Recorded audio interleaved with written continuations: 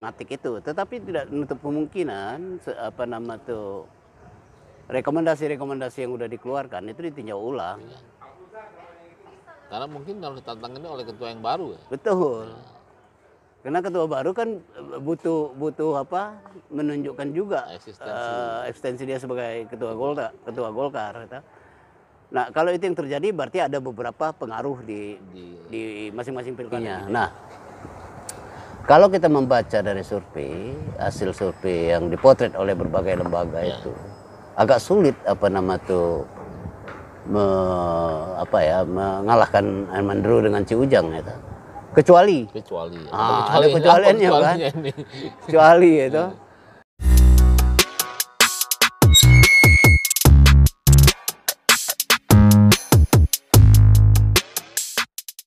Jumpa kembali dengan saya Muhammad Nasir di podcast ketikpos.com. Kali ini kita masih berbicara terkait dengan pilkada serentak yang akan mulai dilaksanakan eh, 27 November Ya. prosesnya di KPU. Nah, artinya eh, dalam waktu ke depan eh, Sumsel akan memasuki konstelasi politik yang mungkin akan semakin memanas. Memanas. Walaupun sekarang juga sudah mulai panas ini. Beberapa bakal calon juga sudah mengerucut sebenarnya. Tinggal masih ada proses di partai dalam tahap untuk memenuhi syarat 20%. Ya. Jadi memang perubahan di Golkar yang mengejutkan itu juga akan berdampak terhadap susunan-susunan dan tatanan-tatanan yang sudah disusun oleh para bakal calon ini. Nah kali ini kita akan membahas tabir-tabir yang mungkin terselaput dan tersembunyi di balik para bakal calon ini.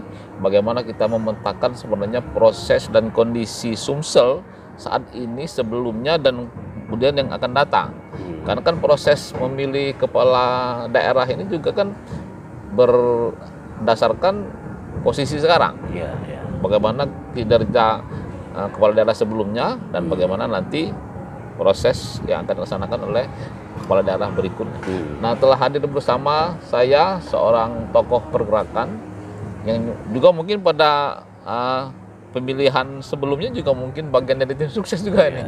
Ya, Bang Tareh.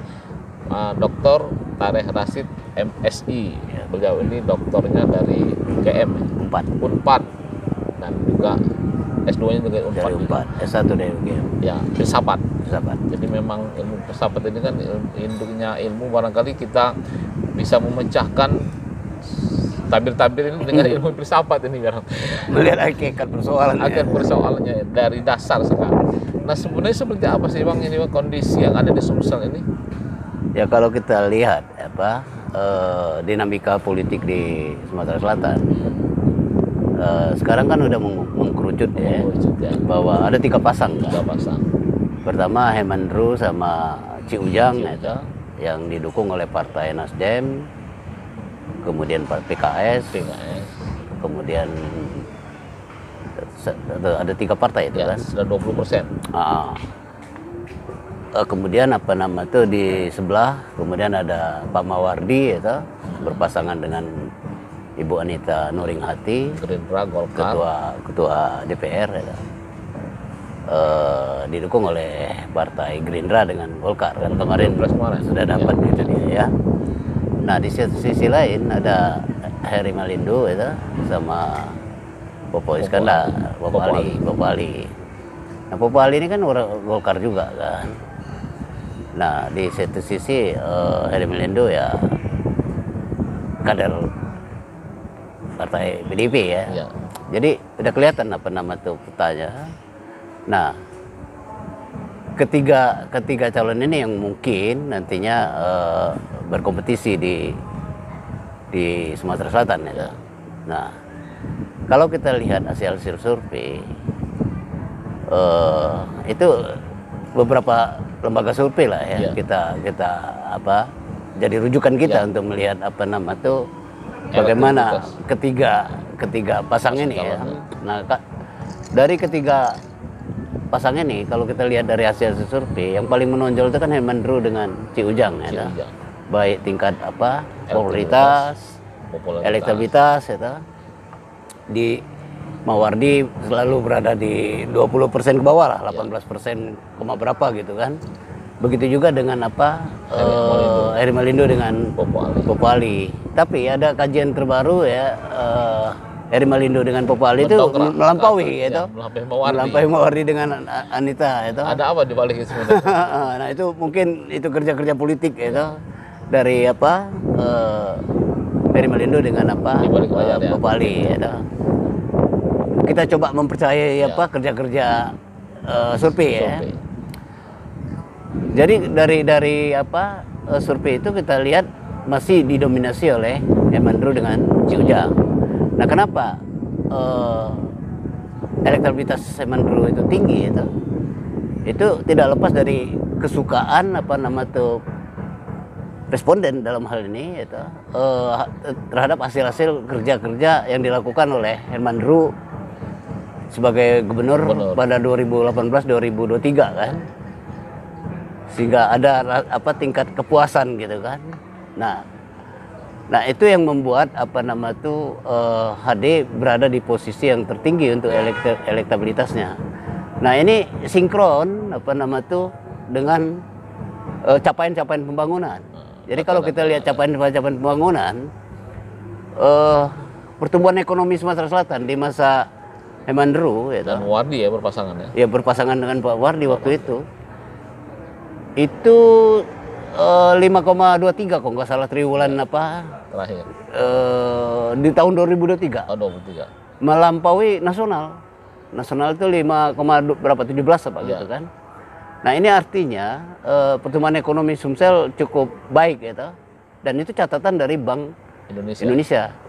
Nah, persoalannya ke, ke depan pada saat apa pemilu ke depan, apakah gubernur calon Iya. gubernur ke depan mampu mempertahankan atau meningkatkan Iya. eh, Indeks pertumbuhan. pertumbuhan ya, pertumbuhan apa nama tuh ekonomi di Sumatera Selatan misalnya 5,5 atau 6 persen gitu kan. Perlu berapa digit lah yang penting ada Ah, ah, pertumbuhan yang ada meningkat. pertumbuhan sehingga eh, itu akan akan mempengaruhi apa sektor-sektor lain itu. Di lain sisi selain apa melihat eh, capaian pembangunan yang sudah dilakukan oleh calon gubernur baik itu oh, pada masa itu gubernur Herman Dru itu berpasangan dengan Mawardi waktu itu kan. Nah, indeks prestasi IPM itu cukup tinggi Sumatera Selatan. Eh, malah kalau dibandingkan dengan tahun-tahun lalu itu melampaui gitu kan. Ya. Bahkan IPM juga melampaui nasional. Berarti itu gitu. prestasi ya. Ya itu capaian pembangunan. Ya. Kalau di capaian pembangunan itu dianggap prestasi itu prestasi eh, para elit kemarin ya.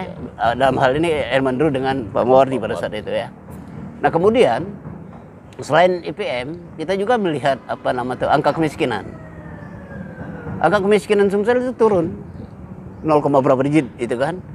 Tetapi turun. Bahkan angka kemiskinan apa ekstrim itu turun eh, sangat cepat di di Sumatera Selatan. Malah dapat penghargaan kan. Nah, kemudian bisa juga kita lihat angka pengangguran. Angka pengangguran juga tinggi. Artinya ada ruang kesempatan kerja. Nah, di selain sisi infrastruktur. Infrastruktur ini di masa pemerintahan Hemandro dengan Pak Mawardi pada saat itu ya merata gitu. Ya.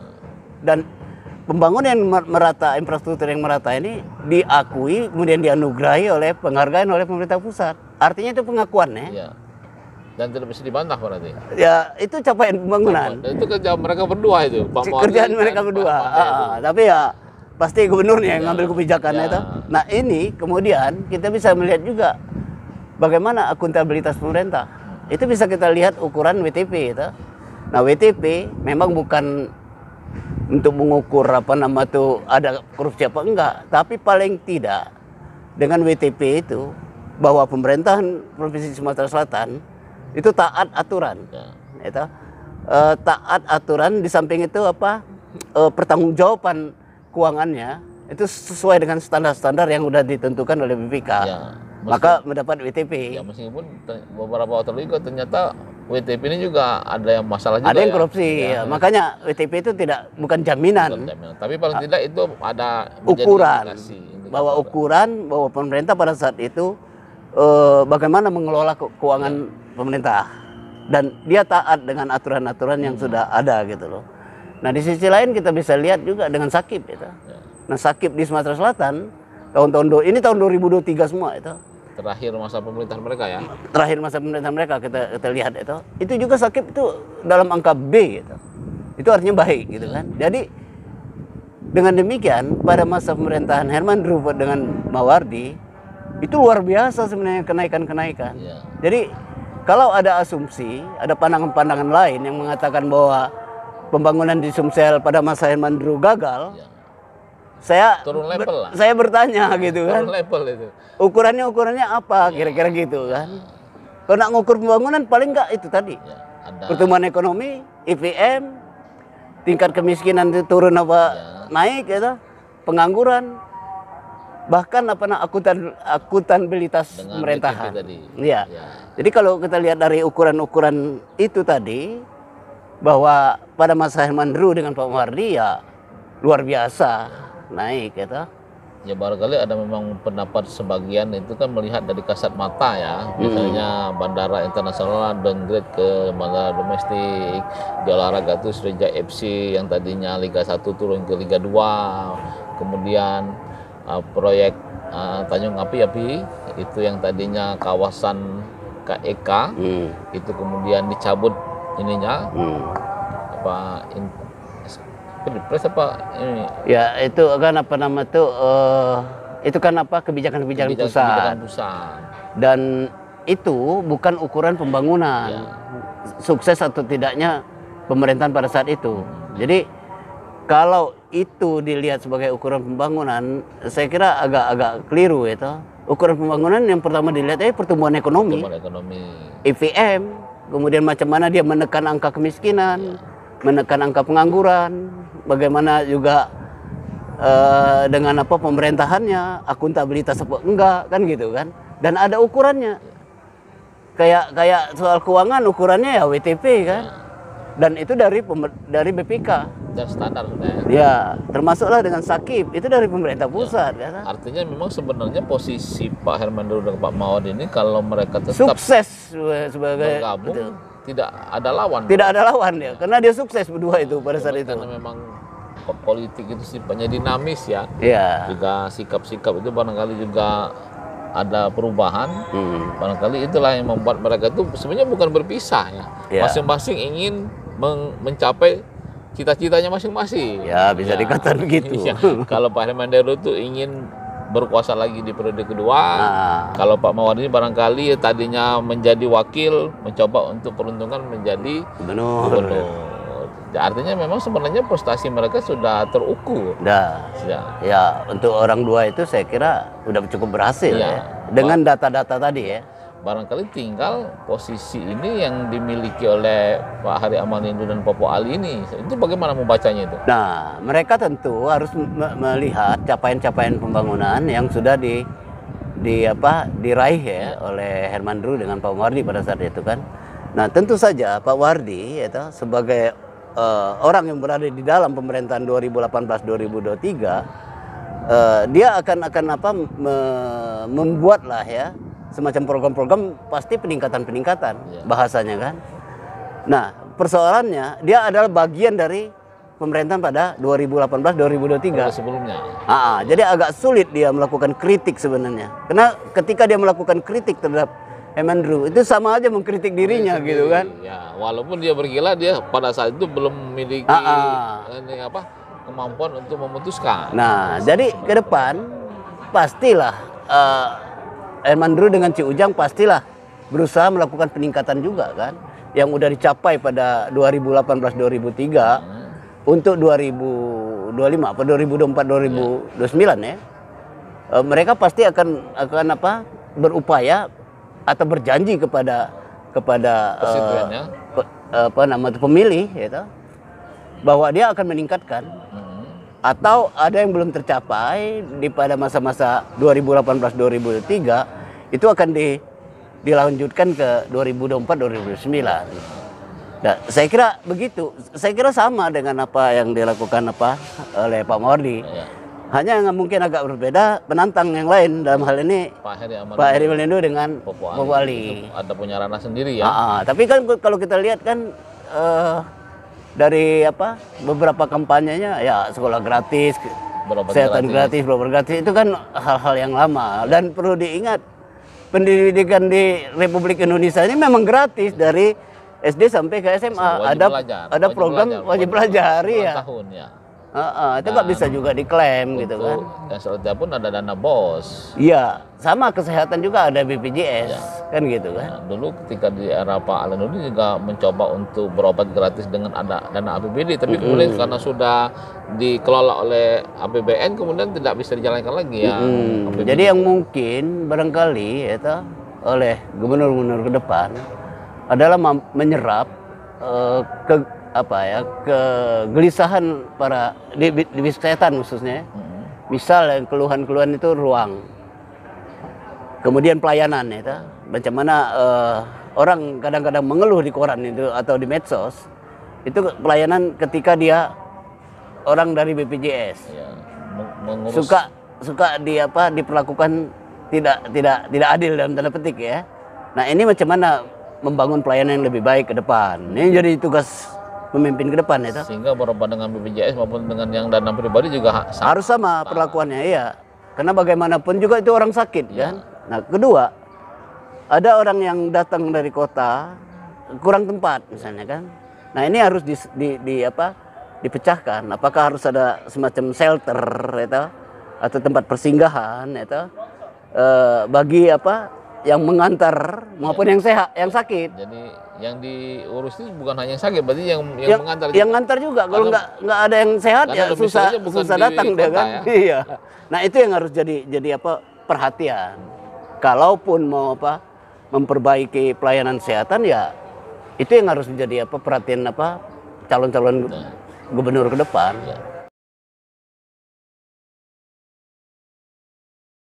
Nah, yang menarik ini kan kemarin di Golkar itu kan ketua umumnya mundur itu. ya ya ini dinamika politik Hmm. Politik. Dinamika politik ini kan memang sebenarnya kan tidak ujuk-ujuk juga pasti ada proses sebelumnya Ya. kan proses yang panjang dan ini mungkin keputusan ini bukan serta merta juga kan pasti Ya. ada proses. Nah kalau perubahan seperti itu berpengaruh tidak terhadap kondisi menjelang pilkada ini? ada pengaruhnya Iya. karena bagaimanapun juga eh, dinamika politik di di pusat yaitu di nasional itu tidak lepas dari dinamika politik di Jakarta DKI ya nah di DKI ini kan jadi potret untuk na- nasional nah di DKI itu saya lihat apa nama tuh eh, dinamikanya sangat apa cepat ya toh. bahkan bahkan udah berubah Kim itu udah nambah jadi plus kan Ya, Kim Plus. Kim Plus kan. Artinya ada beberapa partai yang tadi tidak bergabung, bergabung kan. Nah, dengan mundurnya eh, Erlangga sebagai ketua partai yang seharusnya dia mundur pada saat Mabes ya di bulan Desember kan. Desember. Kalau pertanyaan terkait dengan apa apakah mundurnya Erlangga Hartanto selaku ketua Golkar eh, berpengaruh tidak dengan apa pilkada serentak ini? Saya punya keyakinan itu berpengaruh gitu. Berimplikasi ya. Hah? Berimplikasi pasti. Berimplikasi karena berbeda-beda kebijakan kan. Itu artinya eh, rekomen- rekomendasi-rekomendasi yang sudah dikeluarkan oleh eh, ketua partai lama mungkin dievaluasi oleh ketua partai yang terpilih nanti kan. Nah kalau itu kalau apa nama tuh proses atau mekanisme pemilihan par- ketua pa- partai Golkar itu nanti berjalan dengan baik, Mulus demokratis, ya toh. Dan tentu saja yang terpilih mungkin apa nama tuh yang yang tentu saja apa diharapkan oleh apa Airangga tidak me- mengutak-atik itu, tetapi tidak menutup kemungkinan apa nama tuh rekomendasi-rekomendasi yang sudah dikeluarkan itu ditinjau ulang. Karena mungkin kalau tantangannya oleh ketua yang baru ya. Betul. Karena ketua baru kan eh, butuh butuh apa menunjukkan juga Eksistensi. eh, eksistensi dia sebagai ketua Golkar, ketua Golkar. gitu. Nah kalau itu yang terjadi berarti ada beberapa pengaruh di Di, di masing-masing pilkada di daerah, gitu. termasuk di Sumsel ya. di Sumsel. Sumsel dan juga kabupaten kota barangkali. Karena di Termasuk. kota juga kan sekarang belum keluar rekomendasi dari Golkar itu. kemarin. Betul. Jadi, sehingga eh, ca- bakal calon yang cukup kuat itu Ratu Mm-mm. Dewa itu baru memegang dari Gerindra. Betul. Bahkan bahkan mungkin kan ada ada ada kan begini kalau kita lihat apa pernyataan Airlangga itu kan begini. Alasan dia mundur itu kan agar terjadi soliditas partai itu. Berarti di dalam tubuh partai itu kan sudah ada gejolak itu. Kan gitu. Ya. Agar gejolak ini tidak ke mana-mana, Airlangga mundur. Kan begitu kan? Kalau kita tangkap dari statement dia ya. Pernyataan itu. Ah, ah. Nah, agar partai ini tetap solid, gitu kan gitu. Nah, persoalannya di dalam tubuh Golkar itu kan ada paksi-paksi kan. Ya, nah, s- kita khawatir paksi-paksi ini ya dinamika politik ya di dalam Golkar itu sendiri. Tapi saya yakin lah partai ini kan partai tua ya. Ya. Dia meskipun Tua dia konflik ya. gitu, dia bisa lah apa mencari-cari sol- solusi konflik yang tidak melebar ke mana-mana gitu loh. Se- Agak sebagai berbeda contoh- dengan partai-partai yang lain Sebagai gitu kan. Sebenarnya di Sumsel ini bakal calon tuh sebagian besar juga dari Golkar semua. Betul. Pak Mawardi dulu juga Golkar, kader Golkar. Ya. Tapi kalau kita ngeliat partainya, itu partainya ini Ya, kan. partai. Itu partainya orang-orang Golkar semua. Semua. Tengok kita lihat ya. Gerindra itu orang Golkar. Pak Prabowo itu Golkar loh. Nasdem itu kan munculnya Nasdem itu kan akibat peristiwa eh, pemilihan di Golkar di Medan kalau nggak Ya. salah waktu itu kan. Sehingga muncullah Nasdem gitu. Apalagi Demokrat begitu juga kan. Ya. SBY itu kan orang Golkar. Jadi hari ini sebenarnya partai yang yang apa ya menentukan wajah-wajah Republik ini ya Golkar. Golkar gitu orang-orang Golkar lah ya dengan Pak dengan wajah juga- partai yang berbeda-beda gitu Pak kan Hari Almi Amal ini juga walaupun sekarang mengantongi KTA PDIP dulu juga orang Golkar. pernah jadi orang Golkar ya iya. Termasuk Pak Popo Ali juga sekarang juga betul orang Golkar Sehingga dia kemarin sempat mengatakan 1000% akan rekomendasinya akan didapat oleh- Dari pusat. Dari pusat. ketika Agung bicara untuk memperkenalkan Anita sebagai apa calon, Calon. atau wakil Dan sekarang pun sebelum keluar B1 KWK-nya kan, Mm-mm. ada surat tugas. Itu mungkin bisa berubah. betul makanya pergantian apa nama tuh ketua Golkar ke depan saya kira punya pengaruh lah Ya. dengan apa nama tuh dinamika calon-calon ya Bergantung di baik di kabupaten maupun di kota maupun di provinsi. bergantung bagi calon-calon itu bisa pengaruh positif, bisa juga pengaruh negatif. Benar. Yang harus mereka terima dengan sebagai dampaknya.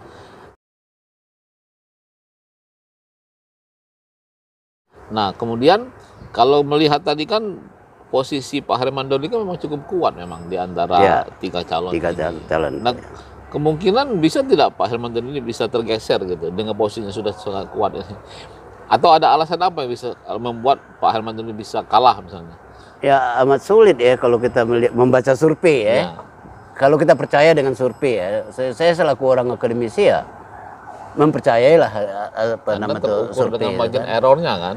Karena ada metodologinya Ya, ada gitu kan, metodologinya. metodologinya. Nah, kalau kita membaca dari survei, hasil survei yang dipotret oleh berbagai lembaga Ya. itu agak sulit apa nama tuh me- apa ya mengalahkan Armandro dengan Ciujang itu. Kecuali Kecuali. Ah, ada kecualinya, kecualiannya, kan? kecuali itu. Pertama ya apa nama tuh mungkin apa didorong oleh kasus-kasus hukum Kasus itu. hukum yang mungkin sudah memang mendekat ya. Ah. Ada PT, kasus PT SMS, ada PT Bank Sumsel, gitu kan. Itu pun eh, apa nama tuh eh, Ada orang akan akan melihat juga kan apakah itu semacam apa nama tuh eksploitasi terhadap apa nama tuh pendongkritan ya, pen- Ya. penurunan apa eh, elektabilitas maupun popularitas apa nama tuh sang penantang Ya. gitu. Eh, ya itu sah-sah aja di dalam politik itu.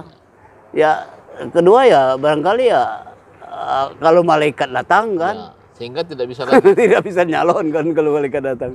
kalau kita melihat hasil survei itu, itu. jadi eh, kalau menggunakan apa kasus-kasus hukum, saya kira apa nama itu harus juga di apa dikemukakan oleh lawan-lawan politik, itu tidak hanya sekedar apa nama itu eh, bingkai narasi, tetapi harus disertai dengan data dan bukti, sehingga eh, itu memang memang apa nama itu eh, hal-hal yang perlu didiskusikan dalam kerangka hukum. Tapi kalau hanya sekedar apa nama tuh oh ya wacana untuk mendongkrit ya, saya, saya kira nggak ada pengaruhnya itu.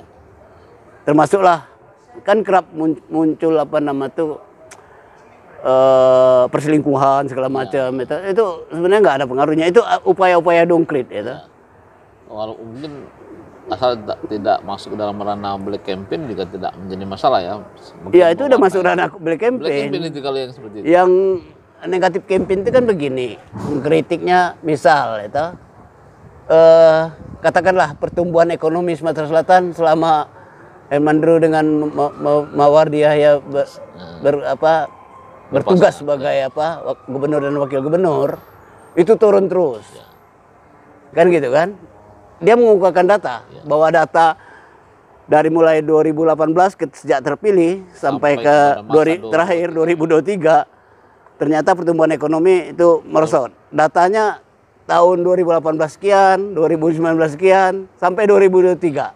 Itu masih kategori negatif ya. Nah itu negatif campaign, itu sah gitu loh. Di Amerika macam itu juga kan. Nah artinya ada ketidakmampuan pemimpin untuk apa, meningkatkan ekonomi di suatu daerah, itu kan gitu. Kalau di Sumsel ya di Sumsel itu. Nah itu bisa gitu loh. Itu yang disebut dengan negatif campaign. Jadi perdebatannya perdebatan dengan basis data gitu, ilmu pengetahuan lah ya. Ya, bukan hanya opini ya. Bukan ya, bukan narasi yang tidak ada data gitu loh. Artinya masih bisa bakal calon lain juga memiliki peluang untuk menang dengan catatan yang tadi. Ya, kalau kalau ne- negatif campaign sah aja gitu loh. Di mana-mana sah.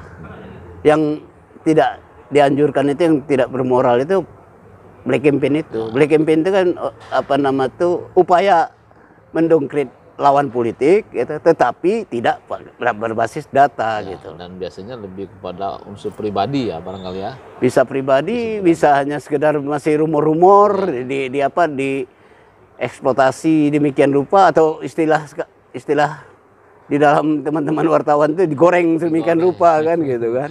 Kalau Kan gitu. goreng itu berarti ada framing ya. Iya, memframing lah itu kan. Itu bagian dari agenda setting lah itu kan. Ah. jadi kembali lagi tadi kalau umpamanya kita melihat survei agak-agak sulit itu. Jadi memang bisa itu apa nama tuh teman-teman lawan-lawan politiknya itu melakukan kerja-kerja politik yang apa eh, belipat. Lipat. Ya. Kalau dukungan ya, dukungan kepala daerah, kepala daerah, tokoh-tokoh ini itu berpengaruh tidak? Misalnya beberapa kepala daerah yang lama kemudian berhimpun dalam satu kubu ini ber- itu bisa memberi nilai tambah juga. Ada pengaruh tapi relatif kecil. Itu amat tergantung juga tokohnya kan. Kalau tokohnya hanya sebagai pejabat aja, tidak tidak mengakar ke bawah, ya nggak ada nggak ada Kalau pengaruhnya kemarin kan apa-apa. Hmm. seperti Pak Rosihan, Pak Ramli Hasan Basri, Pak Sarian, Hmm. kemudian itu bergabung di salah satu kubu bakal calon itu misalnya. Iya, relatif kecil sih. Itu kecil ya. Apa nama itu kan pertanyaan masyarakat kan begini. Sejak lo jadi gubernur apa yang lo buat? Kan begitu kan? Emang bisa. Eh, apa yang Anda lakukan pada saat Anda jadi gubernur? Kan gitu kan? Jadi masyarakat itu punya punya semacam apa memori ya toh.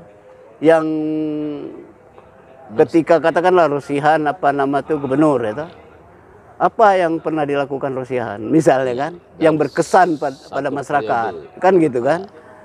Nah, kesan itulah yang tertanam yang mungkin dia akan apa nama itu mengikuti eh, Pak Rosihan, termasuklah Pak Ramli gitu kan. Pak Ramli Hasan Basri, Mm-mm. Kalau kita lihat mereka itu Pak Rosihan, Pak Ramli, Pak Ramli, Pak Sariang, Pak Sarial itu kan pada masa-masa pemilihan terjadi di di apa namanya itu DPR. DPR, Pak ya Pak Ramli dan Pak Rosihan Iya kan? pemilihan Masih di DPR. di DPR.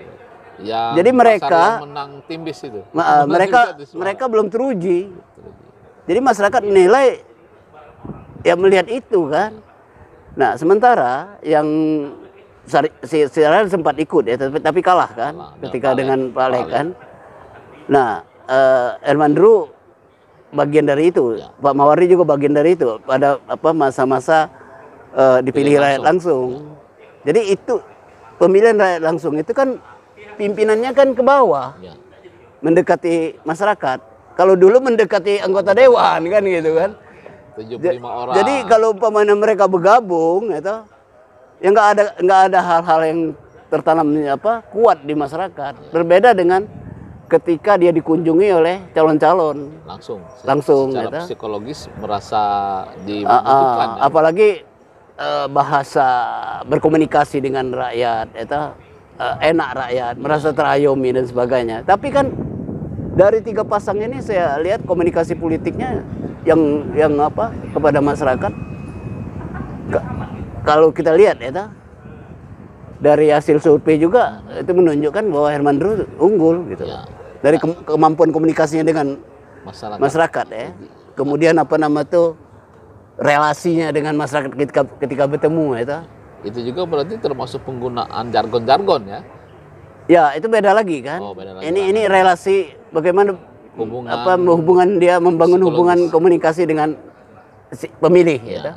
merasa diuangkan, Ah, ah. dimanusiakan. Nah itu amat itu kan amat bergantung apa kepribadian masing-masing kan pemimpin dan itu nggak bisa dibuat-buat.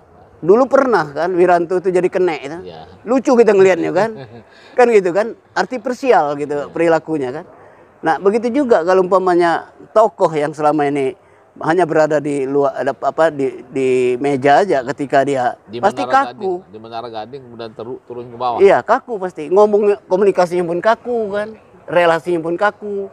Sen- itu terlihat dari sentuhan-sentuhan. Beda dengan dengan Anies misalnya kan. Nah itu apa nama tuh? Itu ke- kepribadian yang nggak bisa apa di di di dinapikan dan itu dilihat langsung, ah, dirasa, dirasakan langsung oleh masyarakat atau pemilih gitu. Ya, sama seperti Jokowi ketika belusukan pada awalnya itu juga dari Solo yang Betul. kota kecil itu. Ah itu kan relasi, membangun relasi dengan masyarakat bahwa dia adalah Belusukan, presiden ya. God. Ah, ah, yang satu-satunya di Republik ini masuk masuk keluar masuk God dan sempat juga diikuti oleh wakil apa wali kota Palembang kan yang nyemplung-nyemplung gitu kan Walaupun dengan respon yang berbeda. berbeda. Tapi maksud saya itu upaya membangun itu citra, image kepada publik bahwa dia adalah orang yang dekat dengan Ya. masyarakat. Nah Jokowi itu kan memang mukanya muka rakyat kan gitu kan, kemudian perilakunya juga ke sana kan pada saat itu memang jadi momentum. Pada saat itu kan malah beberapa aktivis, aktor-aktor, tokoh-tokoh ya tau ter apa terpengaruh semua kan. Banyak yang mendukung Jokowi kan. Meskipun kemudian merasa dikibulin kan. Kan kalau dikibul kita artinya harus kita rasakan dulu baru ya dikibulin itu ketika eh, Jokowi bicara soal apa mobil SMK itu SMK. yang sampai sekarang nggak terbukti kan. Masih mending ketika zaman zaman Orde Baru waktu itu apa swasembada Bambang sama eh, Tommy masing-masing apa Mhm. eh, berdua itu kan apa nama tuh membangun Mo- industri mobil mobil itu mobil Ah, ah, Timor. ah, ah, Timor sama eh, satunya apa itu Bimantara gitu kan. Sementara. Ah, ah. Ya. Walaupun ya diproduksinya di tapi ada ada tempatnya itu kelihatan kan ada ada ada. ada apa nama tuh tempat mobil-mobilnya kan gitu ada nah ini kan nggak pernah kita lihat tapi udah dibilang apa ribuan orang udah memesan kan Tapi orang juga tidak merasa dikibul. Buktinya pada periode kedua juga terpilih kembali. Walaupun dengan berbagai intrik-intrik juga. ya Ya. Artinya memang sebenarnya eh, peta di pilkada ini juga nanti artinya sudah bisa terbaca ya dari sekarang ya. Ya, kalau kalau kita melihat apa survei, eh, kemudian apa nama tuh, kan bisa juga terlihat apa ketika mereka mengunjungi masyarakat gitu. dari dari animo masyarakat hadir, mana yang dimobilisasi, mana yang apa nama tuh hadir dengan sukarela kan, itu itu yang menunjukkan kualitas dia berrelasi dengan masyarakat. ya. Artinya tidak bisa dibohongi ya. Tidak bisa dibohongi itu. Bella, Nah itu kembali lagi tadi. Kalau tokoh-tokoh yang Anda bilang tadi itu jauh beda karena mereka tidak mengalami pemilihan pilih langsung. Dia me- me- mengalami pemilihan lewat DPR. Ya. Nggak ada artinya gitu. ya. Nah kalau dalam waktu beberapa bulan ke depan ini itu masih memberikan peluang bagi bakal calon lain itu untuk bisa mengubah Ya amat tergantung kerja-kerja politiknya. Jadi di sini kan amat tergantung satu ya toh, ke- kekuatan timnya ya. toh. Jadi apa nama itu tim bekerja dua kali lipat untuk apa nama itu mengambil lah ya, mengambil apa alih eh, pemilih yang sudah menentukan ya. toh. karena memang survei juga menunjukkan masih ada sekian persen yang belum Betul. menentukan pilihan ya. Ada ada apa nama itu ruang itu Ruang, kan. betul. Nah, bagaimana kemampuan tim pemenangannya untuk bekerja dua kali lipat atau tiga kali lipat, sehingga dia dia apa nama itu bisa paling nggak mendekati gitu. Nah, itu pun kalau yang diunggulkan ini juga bekerjanya juga tidak ditingkatkan kalau mereka juga meningkatkan juga Sama jadinya kan. mesinnya Betul. sama. Amat amat sulit juga kan. ya Jadi eh, ada dua dua hal itu kan. Kalau di itu kerja-kerja politik itu di lapangan itu juga ada kerja-kerja politik yang apa sifatnya di udara kan. Di udara ini beragam macam itu. Termasuklah negatif campaign, positif apa nah black campaign. Kadang-kadang dipakai juga strategi itu kan. Nah ini terakhir nih bang, kan abang Tarek juga dulu termasuk juga tim-tim ya, bagian-bagian menyusun visi dan misi Hmm. itu. Kalau dalam proses pemilihan kepala daerah seperti ini, pengaruh visi dan misi itu begitu berapa besar sih bisa mendukung perolehan suara? Ya ini, beda dengan di Amerika itu. Di Amerika itu yang amat menentukan itu kan ketika debat publik. Ya, Kan gitu kan. ya, Nah, debat publik itu biasanya eh, visi misi yang yang yang udah dirumuskan oleh Ya. partainya kan. Nah, ini kan visi misi yang dirumuskan oleh eh, Calon. calon kan, bakal calon ya. Nah, visi misi ini itu ada pengaruhnya meskipun relatif kecil itu, tetapi dari visi misi ini kita bisa melihat, itu, masyarakat bisa melihat itu, bagaimana pemimpin itu mampu melihat atau merasakan problem-problem masyarakat. ya, Nah, problem-problem masyarakat itu terlihat dari eh, misi-misi yang akan akan mereka Realisasi, tuangkan, ya. kemudian menjadi program kan.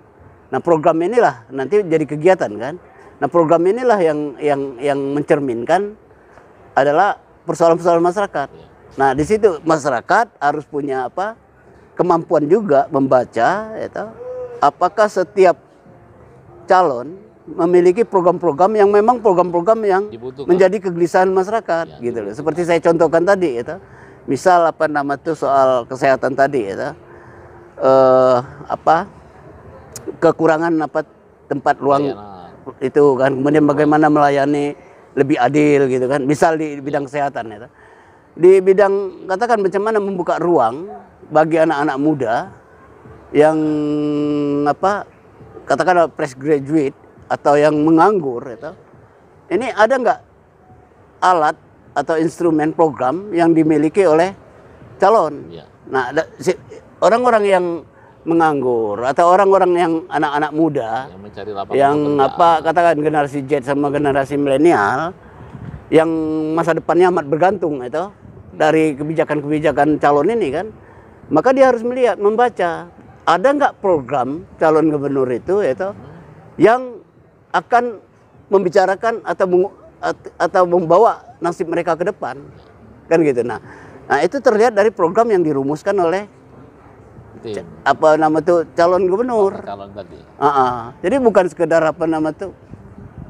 Iya, kalau saya ya harus harus apa nama tuh bagaimana mengubah masyarakat itu menjadi apa eh, pencipta lapangan kerja misalnya kan bagaimana misal itu eh, kan tidak terbatas kan lapangan kerja itu kalau umpamanya ekonomi itu stagnan Ya. bahkan perusahaan ak- ak- akan apa nama tuh me- merampingkan apa pegawainya kan untuk supaya tidak tidak rugi kan. Ya. Nah kecuali pertumbuhan ekonomi itu tinggi, dia apa nama tuh dia akan menyerap tenaga kerja kan. Kemudian akan muncul apa perusahaan-perusahaan baru kan. Nah itu me- menyerap tenaga kerja itu. Ya, oke. Nah, kalau tadi kan bicara Eh, soal debat, Duduk. ya. soal debat tadi, debat itu kan bagaimana mengkomunikasi dari dari beberapa bakal calon ini Hmm. itu Oke. peluang mereka menyampaikan visi dan misi itu ketika debat atau akan sama seperti debat ketika pil- pilpres kemarin. Nah ini amat-amat bergantung dari dari penyelenggara pemilu ya dalam hal ini KPU. Nah macam mana KPU ya toh, eh, mendesain debat itu kan, yang ki- yang nantinya eh, debat ini menjadi apa pembelajaran politik Ya. kepada pemilih toh. atau pemilih melihat debat itu eh, masalah-masalahnya menjadi pemikiran-pemikiran calon. Ya. Nah, pemilih bisa melihat oh mana calon yang memikirkan rakyat, mana calon yang hanya sekedar apa nama itu eh, retorika persoalan-persoalan rakyat, itu kan gitu kan. Artinya kan ini juga menuntut kemampuan para bakal calon ketika menyampaikan itu ya. Nah, kemampuan berkomunikasi si calon itu juga harus harus dilihat oleh pemilih. Iya. Kalau calonnya berkomunikasi kurang baik, itu artinya di dalam apa berkomunikasi dengan bawahannya pasti kurang baik juga kan. Iya. Jadi itu ukuran-ukuran bagi bagi pemilih gitu. Jadi pemilih yang yang apa ke depan nanti di, calon gubernur ke depan dia harus melihat gitu, program-program yang ditawarkan oleh calon gubernur.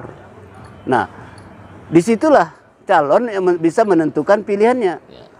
Jadi misal itu ada kok kelompok masyarakat misal petani. Problem dia misal selama ini masalah pupuk misal Ya. itu.